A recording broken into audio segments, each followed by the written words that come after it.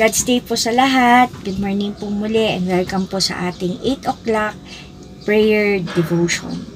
So, ang title po ng ating devotion for today from the devotional book po ni Sir Max Lucado is Let Grace Happen.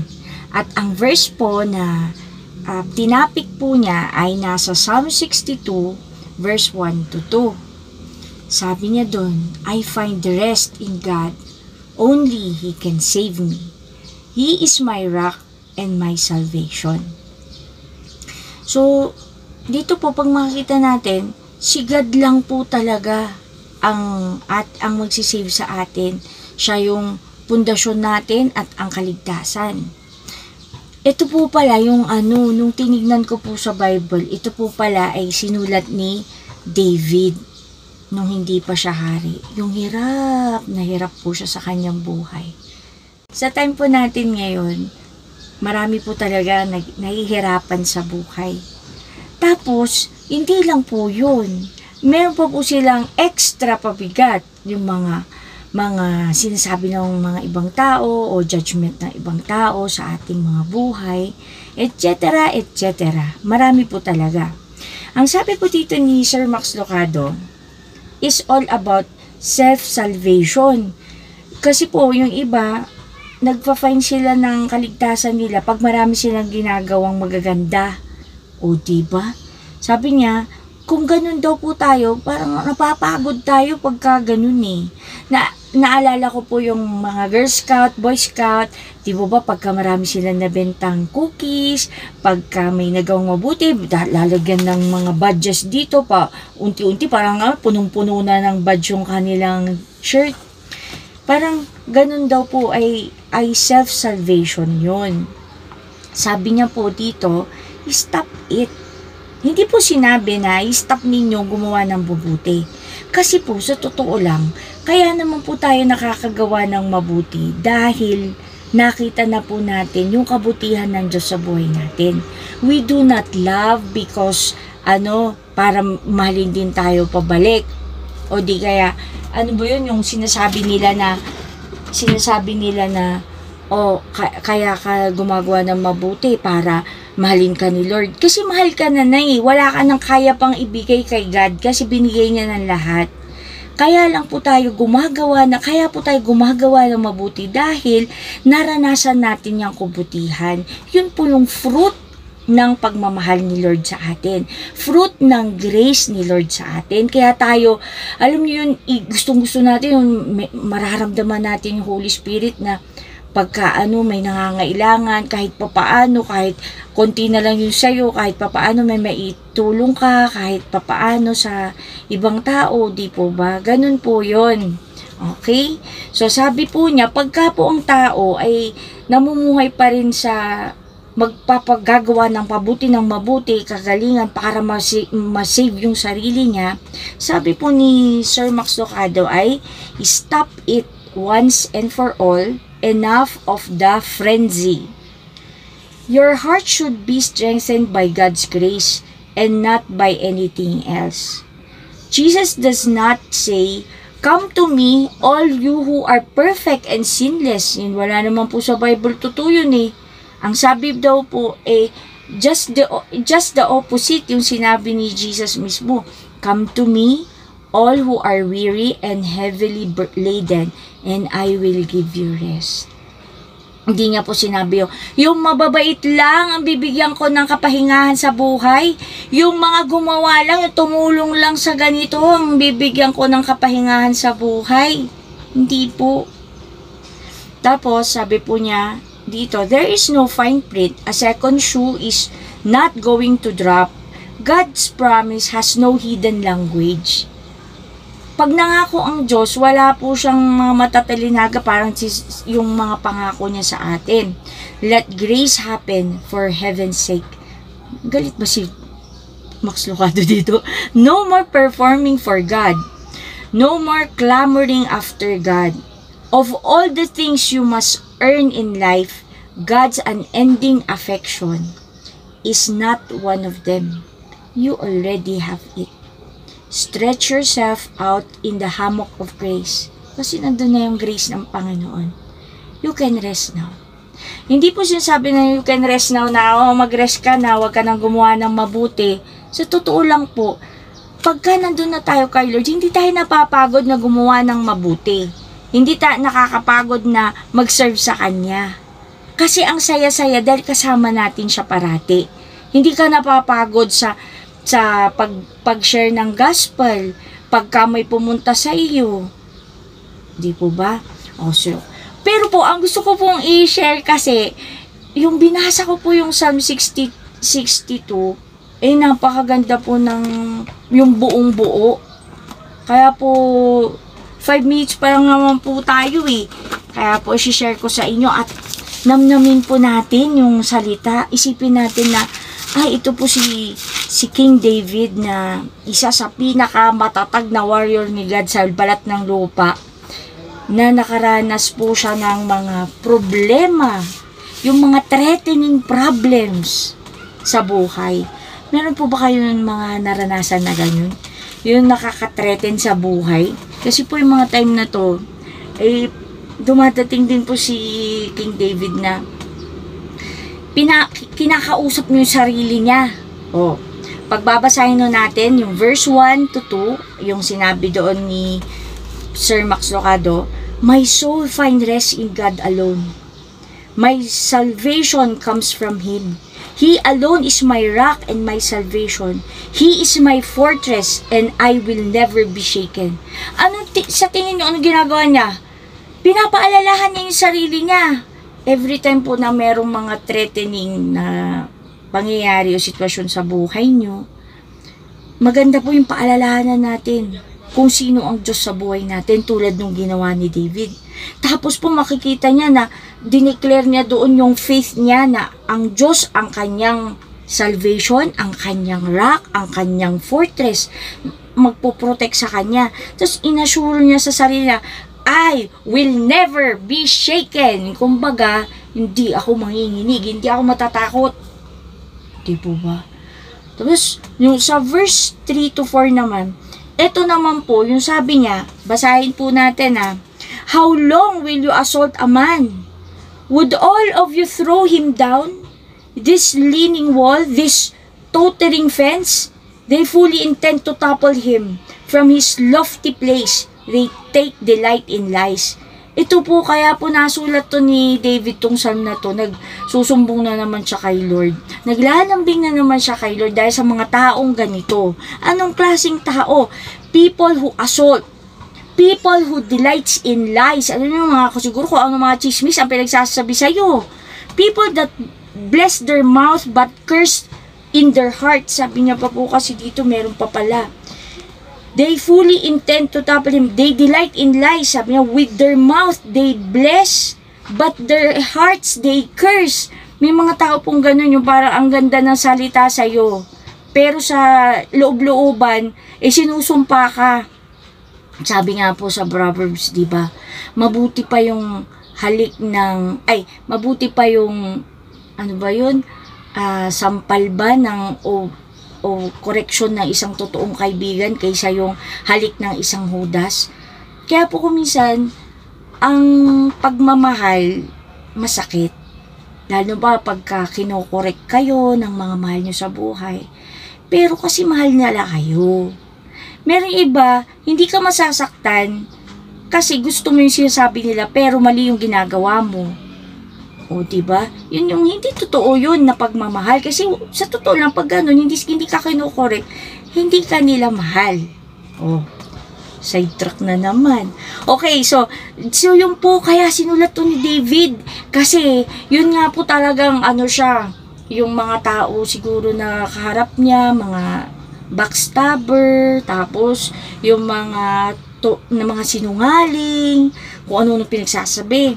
Tapos sa verse 5 to 6, sabi niya, Find rest, O my soul. Kinakausap niya na naman yung kanyang sarili. Find rest, O my soul. Kasi kung minsan po talaga pagka nakakaharap tayo ng mga na ganun na sitwasyon sa buhay, nakaka, I mean, mahirap control yung sarili. Pero kailangan control natin with the power of the Holy Spirit. Sabi niya, Find rest, O my soul, in God alone.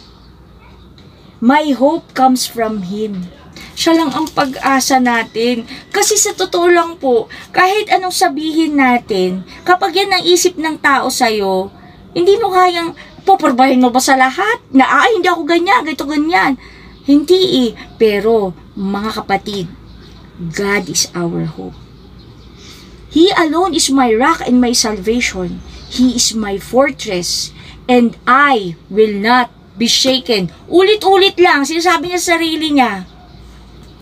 Kasi kung minsan po talaga hindi, hindi nyo kayang kalabanin yung mga taong nag-a-assault sa inyo. Minsan hindi nyo rin kayang talagang harapin yung mga taong nagsisinungaling sa inyo o hindi nyo pa alam.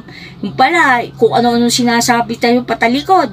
Kaya nga po ang ganda yung kanta ni Celine Dion yun. You were my strength when I was weak. You were my hope when I You were my voice when I couldn't speak. You were my eyes when, I couldn't see. You saw the best that wasn't me. O, ba? Pag kinakanta ko po yun, inaalala ko, ganun ako kamahal ni Lord. Siya ang magiging mata ko. Siya ang magiging boses ko. O, siya pa rin yung hope ko. God will vindicate you. Relax ka lang, sabi ni Lord. Rest ka lang. Mag-rest ka relax. Okay? Oh, so sa verse 7, sabi niya, My salvation and my honor depend on God and He is mighty rock and my refuge. Ang kaligtasan po naman talaga natin at ang karangalan natin dito man sa lupa o pagkatapos natin mamatay ay nasa Panginoon. Di po ba? Kaya po mag-rest tayo sa Kanya Sabihin na nila ang dapat nilang sabihin. Paulit-ulit lang. Our obligation is to do what is right. And the rest is up to the Lord. Mumiti ka lang. I-ano mo lang sa Kanya. Hayaan mo lang sila. Bayaan mo sila. Di ba? Ganyan. Pero, mag-pray po tayo. Ibig sabihin ng bayaan, huwag kang makipag-away. Ganon. Pero pag-pray nyo sila.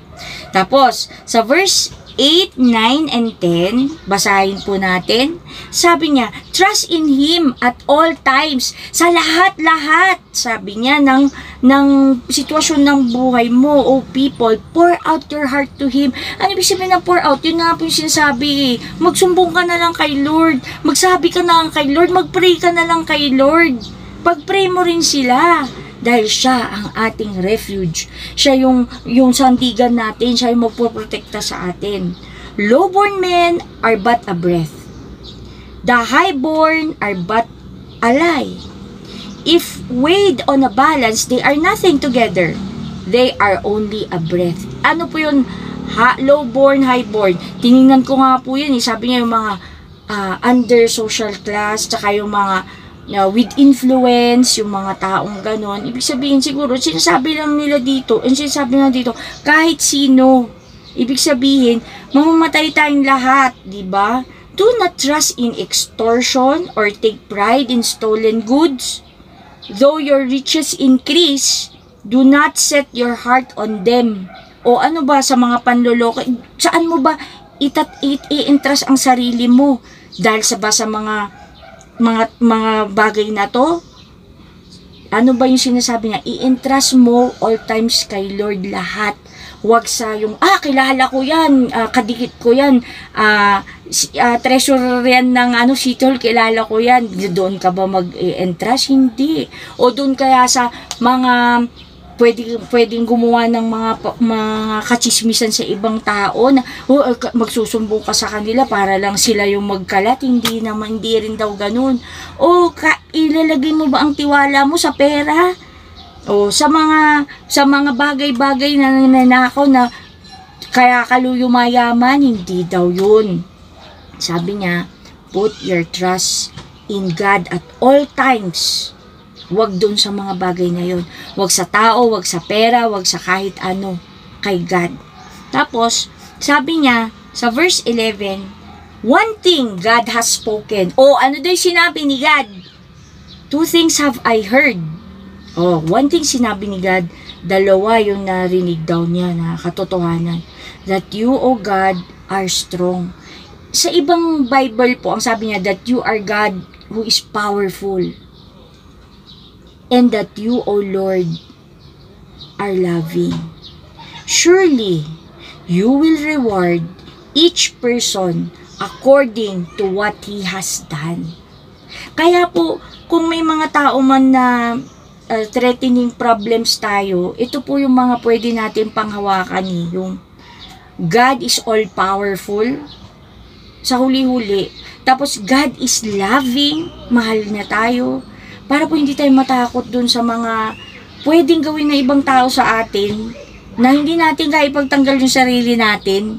Pero sabi niya dito, surely, yun yun na sinabi ni God, you will reward each person according to what he does. Kaya po, huwag na rin tayong mag-judge kung, alam nyo ko si Satan kasi ganyan eh, pagka ano, Puta, siya yung nagsabi. Tapos mag-iisip ka na rin ng kung ano. Ganun ang gagawin sa atin. Magka-clash-clash lang. Kaya mas maganda pa, hear no evil, say no evil, ano, wag, wag ka na rin, to, pagka may naririnig ka, hindi maganda, ops, stop, hayaan mo sila. Pagka medyo, ano, na, katulad ko na medyo madaldal ka, ops, pagka hindi na maganda, stop mo na rin yung, yung bibig. Ganun po yun. See no evil magdwell na lang po tayo kung gaano kamahal tayo ng Panginoon so that we can find the rest in God alone. And for He alone is our fortress, our refuge, and our rock. Yan na lang po ang parati nating aalalahanin sa araw-araw. Hindi ko po alam kung bakit ito ang ang message ni Lord, pero siguro bilang anak ni Lord, marami po tayong haharapin kaya po, take note po sa message ni God. Okay? Find rest in God, kapatid. Let grace happen today. Okay. Father God in heaven, thank you po. We believe that you are the God who is powerful. You are the God of our salvation, our rock and our refuge. Lord, alam ko po na nakikita niyo po lahat ng dadaanan po namin bilang mga anak ninyo. Kaya po, may mensahe po kayo sa amin. We can find rest in you, Lord God. Help us to remember. Every time we hear something, Lord, na mga kapanting ng tenga namin, Lord God, uh, help us to control ourselves, Lord, by the power of your Holy Spirit. Uh, kung paano kami magre-react, tulungan niyo po kami umiti.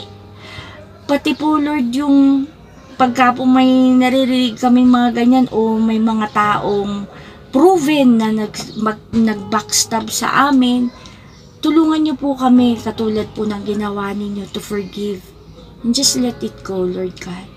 Dahil alam po namin isang araw, you will reward everything, Lord, na ginawa namin sa mundong ito. Humihingi rin po kami ng kapatawaran, Panginoon, sa mga kasalanan namin kung minsan po ay nag, naging judger kami sa ibang tao. Patawarin niyo po kami, Lord, at tulungan niyo po kami na maging alert parate na huwag pong muling makagawa ng ganun. Kung sa mga times, Lord, na yung na hindi po kami naging aligaga kami at sumagot na lang kami ng pabalang-balang o pinatulan pa po namin yung mga issues ng mga ganyan sa amin, patawarin niyo po kami. Help us, Lord, uh, na wag po namin kayo mapahiya bilang anak ninyo. Lalong-lalo na po, Lord, na ang aga-aga pa lang pinagsabihan nyo na kami. Kaya po, Lord, in Jesus' name, pinagpipray ko po ang lahat ng nakikinig ngayon. Alam ko po na hindi po aksidente, Panginoon, na mapakinggan po nila ito. We may face different kinds of threatening situation in our lives, Lord God. Help us to speak with love, to think with with wisdom, Lord, that comes from you, Lord. At higit po sa lahat, Lord, to do the things uh, as we obey you, Lord God, na makakagbigay ng glory sa inyo. Lord, maraming maraming salamat po sa araw na to. We lift up to you, Lord God, everyone, lalo na po yung mga nagfe-face ng uh, iba't ibang sitwasyon sa buhay na threatening, hindi lang po sa physical, emotional, spiritual pa rin, Lord God. Lord, to you be the glory and honor. We love you po. Salamat po sa mensaheng ito. And to, to, to you be the glory and honor in everything we do and say.